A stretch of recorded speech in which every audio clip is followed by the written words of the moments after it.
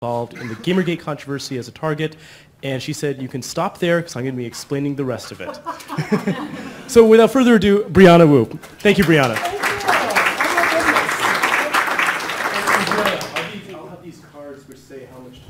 Fantastic. I will follow that then. How's everybody doing? I, before we start, I want to hear how many people have had a conversation already that when you get back on Monday, you've got some work to do. Because I've already had those conversations. You? Yeah. That's the problem with these conferences. Like you meet too many talented people. So, um, like I said, my name is Brianna Wu. I guess this slide is a little bit dated now uh, because now I'm running for U.S. Congress this year in Massachusetts. So um, I'm going on a 100% feminist, uh, pro-LGBT, uh, pro-cybersecurity platform. So need to update that slide. Um, I usually give this talk in uh, an hour. We're going to do it a little bit uh, quicker. But yeah, something I like to say before I start is, yeah, there's no woman in any professional field that likes to talk about this stuff. You know, for me, I worked my entire career to become an engineer, to become an expert on the Unreal Engine. So to stand up here and to kind of define myself by the harassment that I've received, I just want to let you know it's, it's difficult. And it's not what I feel defines me. So I just always think that's really important to say. Like, you know, this is not something the women or, you know, marginalized groups have experienced. This, it's not something we really want to be talking about. So what we're going to be talking about today is uh, Gamergate. Uh, this is basically, it's equivalent of the KKK but from the uh, video game industry, basically. So we're going to kind of go into the origins of it. Uh, basically, in 2014 and 2015, Gamergate kind of took over a lot of the news media, and it certainly took over most of the game industry. Um, it really forced us to reckon with this legacy of being an industry that was really built for the comfort of a very certain kind of gamer and the social cost of what it was like trying to participate in that space if you were anything else. Uh, so this is that sad story that we're going to be telling. Games are changing. They're changing a lot. Uh, when I started my game studio in 2010, you know, women were 16% of gamers. If you go back a few years, uh, in 1992, this is the first study I ever saw on this subject, women were only uh, 3% of gamers back then. It's slowly been rising. Today, if you look at those numbers, women are 52% of gamers. And that's not mobile gamers. This is across all platforms, including PC. Your average gamer today is actually a woman my age, right? Like someone in her 30s or 40s. So, you know, games have really changed from this thing that was the domain of just, you know, kind of, um, you know, nerdy guys in their 20s. And this is a good thing. You know, it doesn't mean that we're not making those old kinds of games. You know, there's still plenty of blood-soaked games on the market to play, but we are expanding them. As a result of this, more women are getting involved in the game industry. This is a game right here. This is by my friend Jenna Hofstein. She's a game designer in Boston. It's just an utterly brilliant uh, educational game for children. And I think it's great that we're getting those kinds of experiences out there. So I want to kind of just briefly give the, the summary of how the kitchen caught on fire in the game industry. So there are people who have different opinions on this. Uh, but for me, the moment that the game industry really began to need to uh, reflect on uh, our issue of women and how we're not treated fairly began with Anita Sarkeesian. Uh, you know, basically, if I'm recalling correctly, this was 2012. She brought out uh, a series of YouTube videos, and she put this out there on the internet. She wasn't super well known before this, but she was like, you know what? I'm going to put out a series of, uh, you know, basically documentary videos from kind of an academic perspective, and we're going to look at uh, how women are treated in games. And I remember when she announced this, what happened in the mainstream game community. It got really irrationally furious from the get-go. And there were all these assumptions that she was going to just like tear games apart. There were these sexist assumptions that she wasn't really a gamer. And you know, as a result of this, Anita ended up getting tons of death threats and rape threats. There's actually a well-known game developer in the industry that coded a flash game where you would have Anita's face and you would hit it and then there would be blood and beat up effects from it. You know, and as a result of this, you know, her Kickstarter did end up raising more money, but she kind of became the, um, you know, the, I'm trying to think of a different word, but hero, but she's a hero to me. Like the woman that kind of took a stand and said, no, we are going to look at how video games treat women. 2014 is really the year that all fell apart. Um, and I know a lot of us think Gamergate started with Zoe Quinn, but what I feel has really been erased before that is uh, what was happening in July, right before that. So for me, I had just uh, finished uh, shipping Revolution 60. This is a, a game that my studio spent three years working on. So this was a point in the game industry where things were really, really, really getting bad. Um, this was a friend of mine. I'm going to hold her name from this talk so she doesn't get targeted because every time I mention her, people go after her. But uh, Giant Bomb has a really long history of not hiring women. And uh, in July, they had two people step down. Part of it was uh, because Ryan Davis had passed away and they hired uh, someone new to come to Giant Bomb. At this point, Giant Bomb had never, in their entire history, ever hired anyone that wasn't a uh, straight, presumably cis white dude on the editorial team. And they came forward, and lo and behold, Giant Bomb hired two more, you know, straight, white, presumably cis men to work on their team. And a rather uh, well-known woman uh, game journalist uh, noticed this and put out tweets about it. And the response was horrifying, what happened to her. Giant Bomb fans went after her in a way that utterly churned my stomach to the point where she got up and quit the game industry. And I want to let you know, back in 2014, there really weren't that many women game journalists in the game industry. We were a lot more of a minority. We tended to know each other. So to see one of the very few colleagues that you have over on the press side really be run out and more than that, to see Giant Bomb basically twiddle their thumbs and pretend like it's not their problem for three or four days, it was very, very disheartening. And what is so discouraging to me about this incident, which really hasn't been recorded historically, is this was when they came up with the playbook that we'll be talking about later. You know, Zoe Quinn incident, I'll give you the Cliff Notes version of it. Uh, basically, a former jilted lover of Zoe's had uh, written uh, just a fanfic about her and her life uh, called the Zoe Post. Put it out online. You know, if you switch the genders here and it was a woman making these comments about a professional man, everybody would just call, you know, the woman all kinds of names. For some reason, this person was considered credible, and it really uh, started this very frightening assault on Zoe. This is somebody who for a while had gotten really frightening, uh, almost legendary abuse in the game industry. Um, but it really rose to the point here where we couldn't even have PAX that year.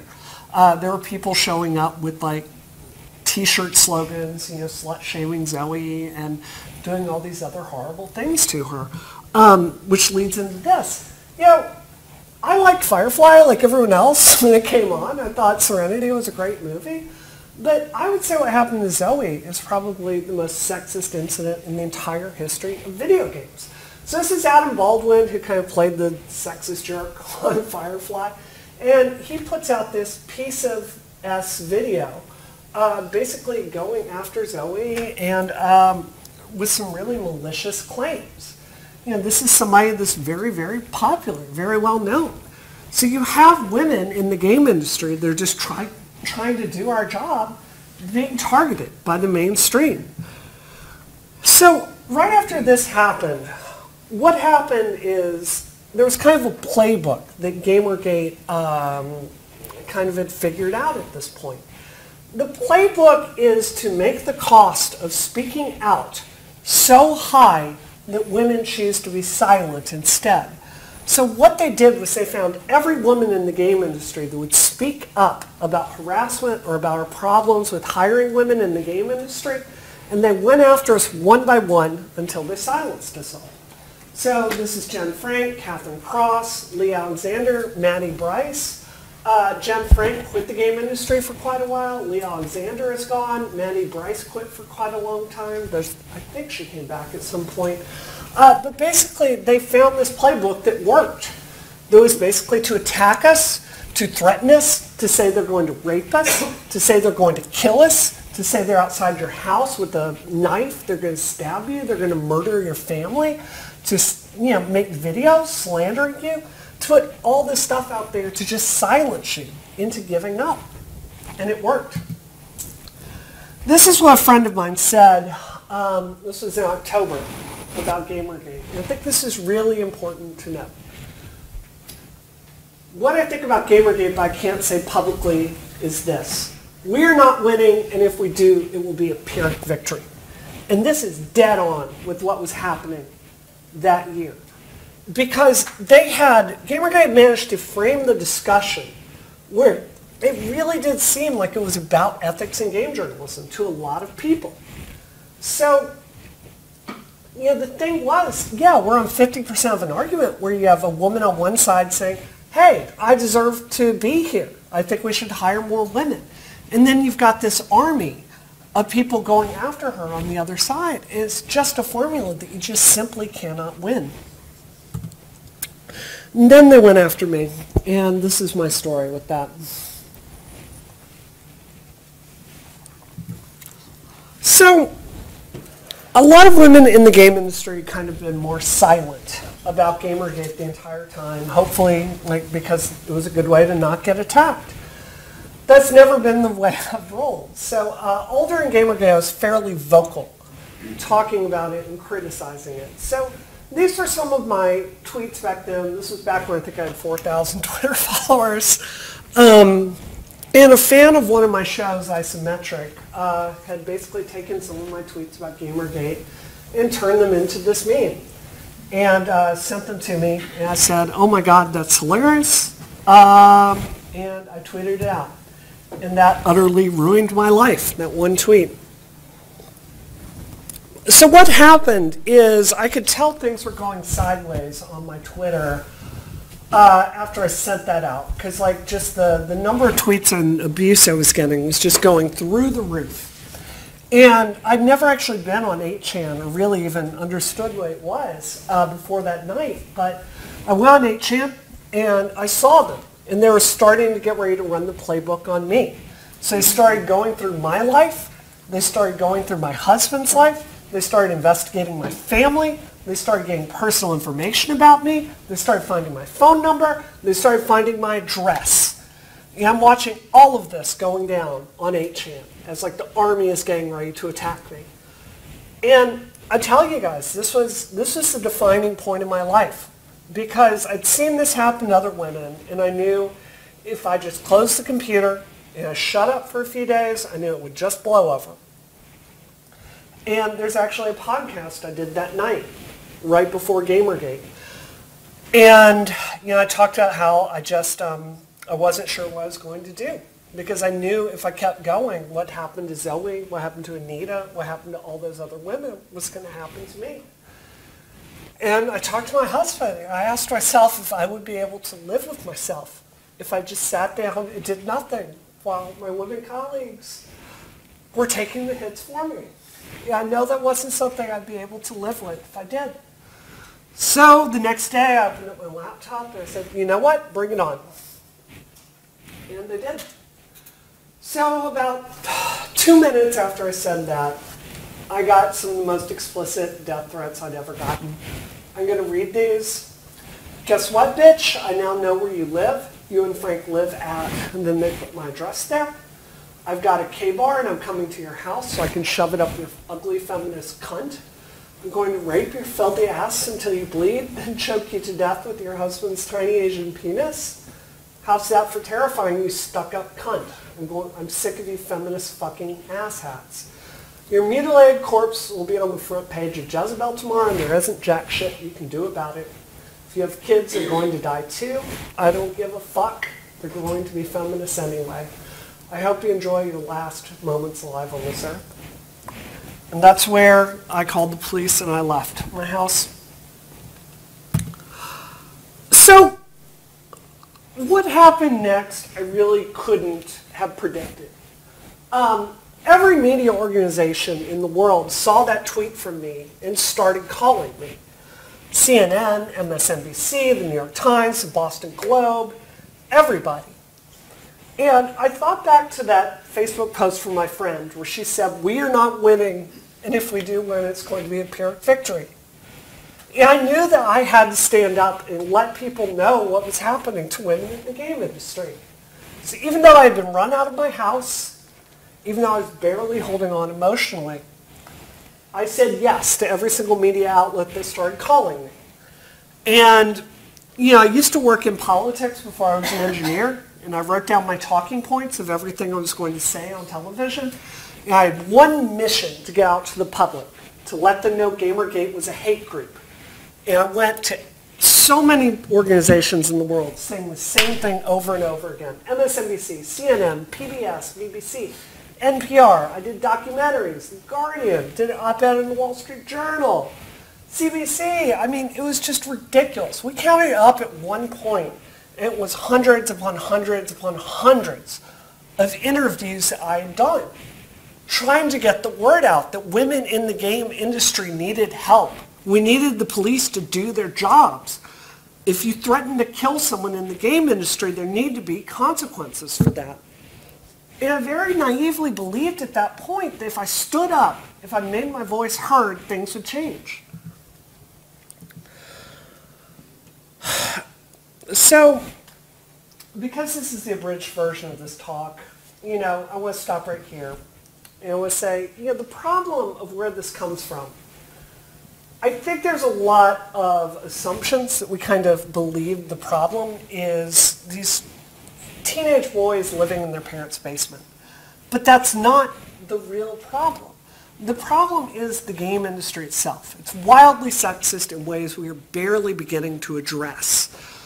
You know, the truth is our industry has put out this product that is catered for a very, very specific set of the market. And it portrays women as one thing. And black people don't really exist there. And LGBT people, if we exist, we're kind of the butt of a joke. And it's this entire culture that makes more than movies. That's a huge industry that kind of puts this one person at the center of the universe and tells them that no one else exists. And the problem is, even though there are so many great guys in the game industry, when we look at our hiring practices, they mirror these exact same kinds of bias. So, you know, I want to tell you what it's like to be in the game industry. This is a place that very, very strongly rewards your silence if you're a woman. If you're the kind of woman that will like let the guys there feel like they're not sexist and kind of go along with the boys club and empower it, you're going to do great. But the moment you start speaking out, you say, you know what, I think that character might be a little bit sexist. I wish you wouldn't make that joke. It makes me uncomfortable when you ask me out. The moment you set those boundaries, the more you find yourself kind of ostracized. And the truth is we desperately need feminist critics in the game industry. This is from the iOS release of Soul Calibur. This is on iPhone you know, it's not that, yeah, I'm a sex positive feminist, but I think if you're going to put this out in a really, really major game release, I think like some criticism is fair. You know, game developers, we say all the time that we can't make our best product without honest feedback from our audience. This is a design that needs some honest feedback. so, let's see, I don't have time to do that. Basically, um, coming back to my story, you know, I started to get some of the most intense death threats ever. And it went on for a whole year. And it's still going on today as I'm running for office. I've had people telling me they were on their way there to my house, like people with known psychological issues that were wards of the state, sending me messages talking about the guns that they have, sending me videos of themselves driving to my house, saying they were going to kill me. Do you know what that's like when you're just trying to do your job and get a living? For me, you know, running a game studio is extremely expensive. So for me, uh, this was an attempt to take down my uh, studio's game, Revolution 60. So basically, they were going to pose as um, very angry consumers and basically harm my game's release. Uh, this was all over 4chan and Twitter. I have to tell you, the most weird thing that happened throughout all of this is seeing a Law and Order episode made based on you. You probably haven't made the best choices in life if, you, if you're on a Law and Order episode. See the actress like reading your death threats made for TV, that's weird. It's really weird. Um, this was the Sci-Fi Channel version of the same thing. This is television Brianna Wu. So, yeah, I don't think they nailed that. Uh, they cast they cast my husband for this too. He's a lovely guy. I follow him on Facebook. Um, my husband is Chinese, and they cast a Japanese guy for this. So there's this great scene of this actress, like um, after she gets the death threat, she's like in the bottom of the closet crying, and it's not exactly how it went down. But, um, yeah. I guess the other thing I want to come back to before we finish up the policy perspective and get to questions is I just want to tell you it is nearly impossible to do your job and to be dealing with being in the center of a controversy. You know, for me, like getting, there's no way, you would have to be a robot to get those level of death threats and that level of doxing and that level of personal attacks on a daily basis and not have it affect you. and the truth is, the PC version of Revolution 60 coming out, it was very far delayed because I was so quagmired trying to deal with this stuff. Working to get prosecutions, we failed. I did everything right, and we failed. I cannot think of any advantage anyone could have for getting prosecutions that I didn't have. We had hundreds and hundreds of articles written about us. We had friends in uh, you know, politics. We had friends in Congress. We had friends in law enforcement. I had connections at the social media companies that were happy to work with uh, law enforcement to hand them IP addresses for credible death threats. I had money. We had somebody that was, her whole job was to like find and locate the people that were sending me the death threats. I actually have the name of the man that sent me that death threat they made the Law and Order episode about. I gave that to the FBI, I gave it to Homeland Security, and I begged them to do something about it. So eight months into Gamergate, I get this message from the FBI. It goes, oh, yeah, you know what, Brianna? Um, all those meticulously detailed reports you've been sending us for you know, almost a year, we have never looked at any of them. We can't because of our security procedures. So uh, why don't you uh, throw them on a hard drive and mail them to us, and we'll see what we can do. Yeah, I did, and I got a read receipt back from the FBI, and that was the last contact I ever had with their office. Later, uh, there was a Freedom of Information request filed with the FBI. We found out they hadn't even looked at that information. They had done nothing with it. So as best as I can tell in the United States, there's no person in the FBI whose job it is to look at very credible death threats against private people and to prosecute them. I suspect it's probably going to be a, different story if I get elected, but for private citizens, law enforcement is not going to help you. Sea Lion. My Twitter, even to this day, it's a lot better than it was in 2014, but I deal with people just derailing the conversation constantly. It's, it is just exhausting to deal with. Um, you know, this was a Newsweek study that came out at the height of Gamergate, and you know, um, for all the talk about being about ethics in game journalism, these are the two journalists, and this is Kotaku, and these are women, uh, Anita, me, and Zoe. We're not journalists, like we're critics and game developers. So it's not about that. So, like, it's just pure harassment. This is all you're dealing with. This is extreme harassment. Like I said.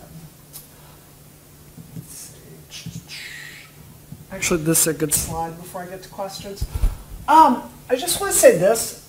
one of the most frustrating things I face is I have gone to Google and I have begged on my hands and knees for them to solve this problem. Do you know how frustrating it is to have certain YouTube channels They're dedicated to harassing and slandering feminists? And they make money on that? And like when I put out a video on YouTube, the next thing that comes up, because they're so skillful at manipulating the SEO with it, is to a video talking about like how terrible a person I am. And Google makes money off of that. So the thing is, everybody agrees that harassment is a problem. But the thing is, in actually solving it, in putting policies in place, in elevating women to a position of power where we can address these things, it's just not happening the way that it needs to. And the thing I want to say is all of us have work to do. My biggest sign when I'm talking to someone that tells me they are part of the problem is if they if they are unaware that they have any biases that they need to work on. For me, if you come to my game studio, uh, for most of the Revolution 60 core ship team, we were all white women. And when I put together this core team in 2010 and 2011, I thought I was putting together a really kick-butt feminist operation.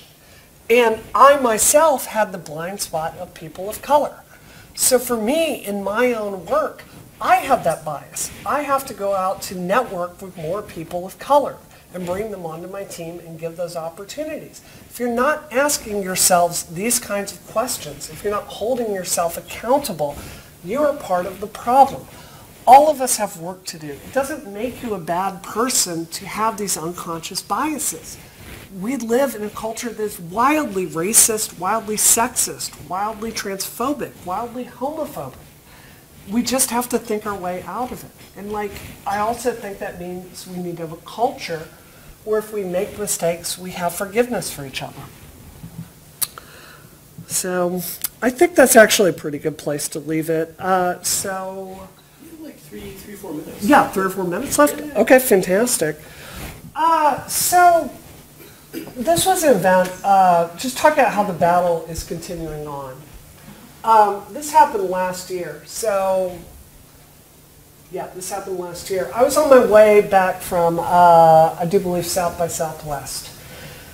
So this is after Gamergate. This is after like our, our uh, you know, our industry is saying like mission accomplished, right?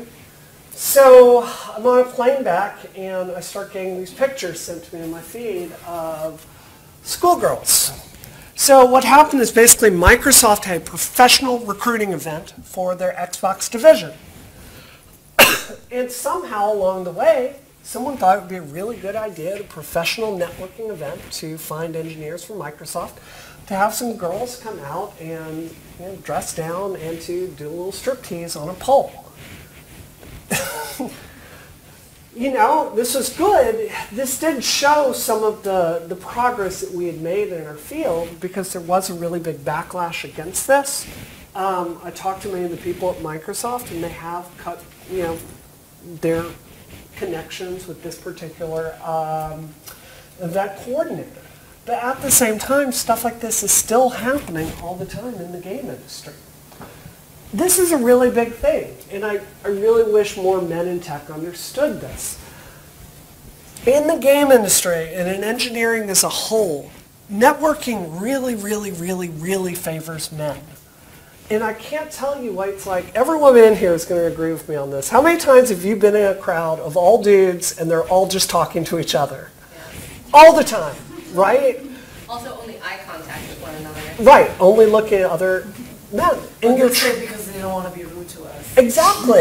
It's it's Looking at us is being rude. or something, or treating you like a person and not a sack of flour. That's that's there somehow rude. This is an uphill battle. Like it's so hard to be there in a group of your peers, just trying to get those connections, just trying to make friendships professionally. It's it's really stacked against you, and these same biases exist, you know, uh, with you know groups of all white people against people of color. Sometimes, as a queer woman, I can tell you it's a little bit awkward being there, like being around all straight people. So Yeah, networking culture, we really need to rethink some of the ways we do it. I'll give you a really good example. I can't tell you how many tech companies have flown me out to try to figure out why they can't hire women there. And then you'll look at their networking event and I'll be like, well, um, guys, I can't help but see that all of your networking events are at a bar, with alcohol, on a weeknight, with all dudes, uh, with loud music. So if you think through this problem, who does that exclude? Anyone with kids is not going to be able to be there. Do you know many moms that are out at the bar on a weeknight? I don't. Um, if you've got alcohol there, that's going to make it feel more unsafe for, you know, a lot of women. It's just these kinds of unconscious biases. We all need to start thinking through it. Another thing is the output of the industry. You know, I am a sex-positive feminist. I personally believe that we cannot have women's liberation without sexual liberation. And I think it's utter folly to try to erase sexuality. But at the same time, this is not something that puts like a, a welcome sign on your door for women. It's just not. You know, we've got to think about the ways that we portray women in the game industry. And I think it's so important that we design women characters bring in women into your focus groups. These same rules apply for people of color and queer characters. Like get those perspectives because there's a huge difference between representation and like being just a sexual object. Promotion policies. My favorite study on this came from Google, who is honestly doing some of the best work in the entire industry on this. They found out, really, it's true, uh, they found out if you have a 2% just a 2% uh, differential between who is hired, um, who is given a promotion rather, between men and women. If you're starting in your 20s and you go through your career at the CEO level, it explains our entire differential of why women don't make CEO because it's just this small slight bias all the way through your career. And you've got to understand it's much, much stronger than 2% all of us have this bias. I have to fight it myself. I am generally speaking most comfortable with people that are like me, you know, other women engineers uh, that like video games, right? Like that's someone I'm going to have a really good connection with. It explains to the team for Revolution 60. So all of us have got to like think about that bias. Google has a great study where they show like if you could just think of one thing that you're having bias on, whether it's talking to people in groups or asking yourself if you're having gendered assumptions when you come into a, a conversation. If you just try to keep one thing in your mind, you're going to have a better result. This is another thing that's really, really frustrating in the game industry. Any game that comes forward and gives even incremental improvements is instantly politicized. This was Tomb Raider 2013. This is, in my opinion, one of the very best games ever made. Uh, this game became a political fight where these developers uh, found themselves in a quagmire. They were called SJWs. They were called every name in the book for basically taking a character who, before that point, had been hypersexualized and trying to turn her into a person instead, like a real character you know, it's very harmful to have any of these small step forwards basically turned into political uh, battles. So, you know, for me, um, I think, yeah, it's a longer talk. It's a great thing to end on. So this is from my friend John Siracusa. Uh, he's a co-host on my network Relay. He said this, I heard it, and I absolutely loved it. At some point you have to decide, do you care about this or do you not care about this? You can't say, oh, I just agree with that on principle, but I don't want to do anything about it. At some point you have to put your oar in the water. And that's what I challenge everyone here today to do. If you see the problem of women in tech, do something to help that situation. Be cognizant. Network with more women. Network with more people of color when somebody is saying something that is, you know, homophobic. Challenge them on that. Men, you have a superpower I don't think you understand. That you can talk to guys about their behavior and they won't scream at you or call you a bitch like they do us. Like, we need everyone to get involved on this on every level. And all of us have a role to play. So I think it's a good place to leave it, and thank you so much.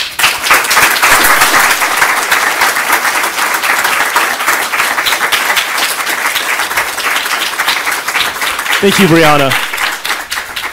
Who has questions? Raise your hand. All right, I'm going to just run around the mic, so we'll start with you, then we'll move to you, and then take it from there. So is this on? Yeah. Okay, so thank you for the, uh, the very edifying talk. Um, I think that you've, you've put a very good case uh, that the problem of uh, abuse on the internet, particularly abuse against women and in, in the game industry, Sure. is, is, a, is a social and a cultural problem. Yep. And I think therefore it needs a, a social and a cultural solution. Sure. But you're in a room full of uh, language technology experts, Yep. uh, scholars, engineers, developers, uh, a very sympathetic audience, I hope. Yep. So I was wondering, as someone who's been affected in a negative way by abuse on the internet, do you have any ideas of, of what we can do to help te- technologically, Yes. what we're best at? Thank you for asking this. That's a great question. Uh, if, you, if you work at Google, please call me. I need, I have specific, I have specific policies that I need put in place at Google. I've been losing my mind. I've spoken at your campus three freaking times now. So I, I think this is, it's a, it's a two-stage problem. Like, we need people inside these companies doing work on it. And I think Twitter is a really good example. I personally believe Twitter has not gotten the credit it deserves for fighting this issue. It is drastically better today than it was two years ago. But we need you advocating before these products come out to not have the paradigm like encourage abuse. I'll give you a really good example. Twitter is a paradigm. The entire engineering team for this is men.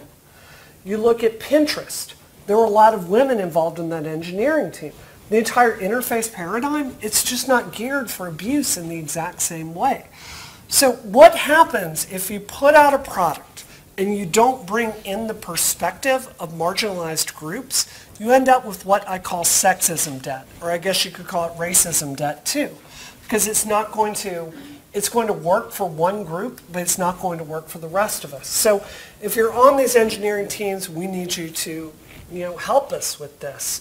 Um, I would also say the reason I am running for Congress is we can't solve this without changes on the policy side.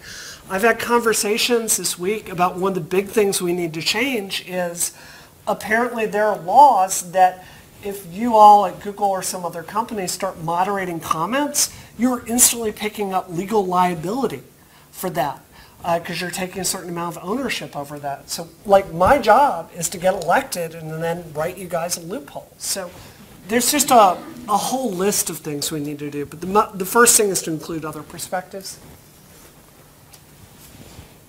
Uh, Thank you so much for your talk. I Yep. wanted to follow up on your point about recruitment Yes. and ask you about pinkification and sort of the ways that there's sometimes these misguided recruiting efforts that, that appeal to certain normative stereotypes. You know, you make the thing pink, and of course, women will love technology, or you serve them cosmopolitans, you know, and, and you know, they'll like somehow yeah. accessorize it. Yeah. And women will love it. Yeah. So, um, if you could sort of uh, say something about that.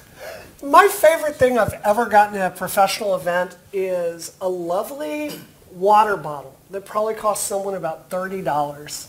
And do you know who made this water bottle? It's Tinder. And they funded a Women at Tech event at WWDC called WWDC Girls. And this was literally happening at the same time they were kicking Whitney Wolfe out the door and stealing all her equity. Whitney Wolfe is the woman that basically got Tinder to catch on. And they erased her and sexually harassed her until she quit the company. It is so much easier for a company to write a check for a catered lunch and to give away some cheap t-shirts than it is to really get down and address the problems. So I just really want to back you up on that.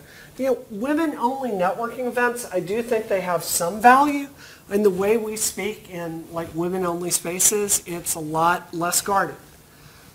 Like, believe it or not, I'm being pretty guarded with you guys here today. But, you know, it's not the only answer. And I think it's like you said, when you fall into those gendered stereotypes, you're just, ugh, it's, it's, it's not helping you. So, thank you. Uh, all right. Yep. Meg. Yep. Um, oh, I'll make it quick. Um, Sure. So uh, I've re- I've recently started speaking out about the reality of um, being a woman in tech, and I want to know from you how do you not cry at night? I do. You know, like how do you not internalize it? If it's almost easier to suppress it so you don't have to face it than it is to actually talk about what's happening. And so how do you be productive without harming yourself in dealing with it? Um, my legs are in pretty good shape because I run seven miles a day. Right. Well, I don't mean self-harm. yeah. necessarily, but Yeah, um, honestly, badly. you can't. You can't do it without damaging yourself. You'd have to be a robot for it not to affect you. I mean, when, the truth is, eventually, people calling you a cunt or a bitch or a phony or a fraud or a, you know, every name in the book, eventually it loses its bite. But the reason it loses its bite is because it's damaged you in some way. And that damage kind of keeps you safe, ironically. So um, I would say this. I think if you're doing this kind of work, it's really critical to make friends to talk to about this when it gets to be too much. Like uh, without you know, girlfriends to talk to, I would not have lasted this long. Um, don't be afraid to step away. But um, you know, if you're feeling damaged by this and speaking out, that's utterly normal. And you know, to me, you're a superhero for doing that because I know the cost firsthand. So thank you. Hi. Um, I was wondering if you have thoughts about why it was that prosecution wasn't pursued? Yes. Even though you were basically handing it to Yep. them? Literally And- handing them hard Yeah, and then sort Yeah, of yeah. thinking towards the future about um, a law enforcement response to this sort of violence, Yeah. but also earlier in, in the day, we spoke about abusive language sort of um, in sort of youth, youth and sort of at the K through 12 sort of stage, engaging with young people about the realities of bullying. Absolutely. Um, and there we sort of had a bigger question about can this problem of violence, cultural violence, be addressed through law enforcement? I think, Not to say yeah, that yeah. there shouldn't have been a, pro- I mean, th- I think there should have been a prosecution for sure, sure, but Right. yeah. It's a difficult problem. I mean, anyone who's telling you it's an e- easy problem to solve is just not being accurate, right? Because we do have to balance, um, I hope nobody will mind me getting political, but like right now in the United States, we have a president that's trying to get all kinds of voter data, right?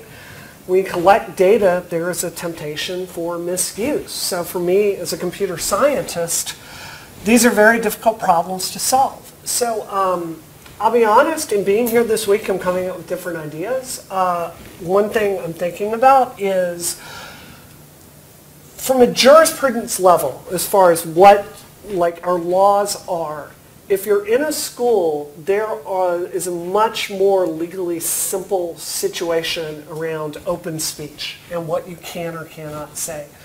So for me, um, after coming here this week, I'm pretty sure I'm going to get to Boston and announce that I think we should have some federal legislation to make it a requirement in a school district that if a parent comes to a school and says, my child is being cyberbullied, that they have to take that seriously, that they have to, you know, like work with social media and get those names and then have the parent-teacher conference.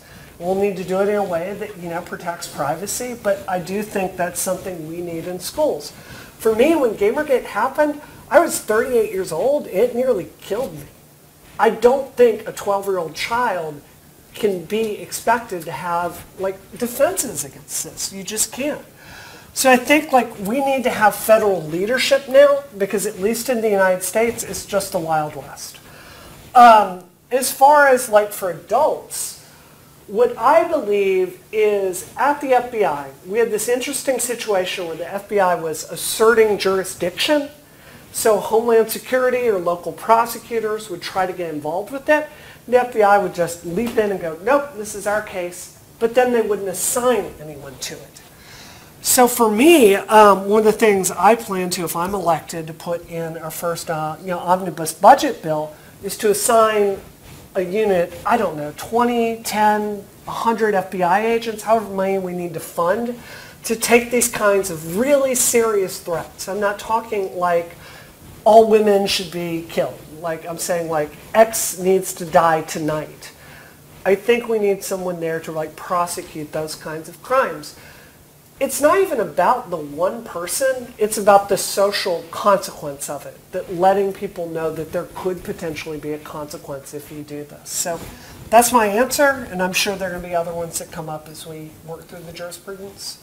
All right, we're going to do two quick questions. You have Great. a question, Dae-Kai Wu, and then we'll move to the panel. Great. Okay, so um, my question has to do kind of with your experience with other women. Um, so there's that famous, okay, that's not what I meant. But um, there's like a quote from Madeleine Albright, the Sure. one about like there's a special place in hell for women who don't help other women. No, Um, this so, expression was about that. I Oh, okay. agree. Yeah, yeah. So, um, my question was, when you experienced this, experienced this whole GamerGate situation, did you have, you, uh, you mentioned that there's not that many women in the industry to begin Yeah. with, so you all have to support each other, but Yeah. were there other women that were kind of ganging up against you? Because, like you mentioned, they had to be passive in order to not get targeted themselves. Absolutely. Okay. And how did you, how did you kind of deal I don't talk to them as much as I used to. So, no, really being straight up. Like, there is a generational divide in the video game industry. And I do have some women friends that are my age or older that are friends. But I think, like, there are some people that grew up in an age where the way they survived in the boys club was to be one of the boys. It's just how they operate. And they're dangerous to be around, like just to really be honest. So I think like you kind of keep your political distance from them. Um, what I am seeing is with many women, they're millennials, I think there's more of a we're all in it together attitude that's permeating. So I think it's changing. Um, for me, I have a professional policy to not go after other women like in a public way ever. I just don't do it. Like there's not much stuff on my Twitter critiquing Ivanka Trump, right? Because I just think like we get I think like culture pits us against each other so much of the time. I just don't want to participate in it, even if it's worthwhile. But yeah, unfortunately, women are mean to other women, and that's just a fact. So a lot of the reason I'm running for Congress is because, you know, honestly, harassment is part of it, but it's it's not my main reason for running for Congress. I mean, it's economics, it's uh, cybersecurity is a really big issue, but I think more than anything else, we need you know, Star Wars is like a story of a generation rising up and taking their place and kind of changing the world. And I think we are at a point right now where you know, baby boomers have, they've been in charge since the 90s, since I was a teenager, and now I think it's time for people of my generation to kind of stand up and run for office and, you know, serve our country in that same way. So I think it's the time that all of us need to pick one of three things to do.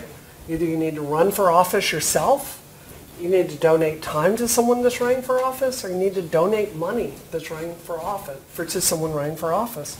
You know, tweets aren't going to change this, you know. We need very direct action. So that's a good point to leave it on. Thank you very much. Thank you, Brianna.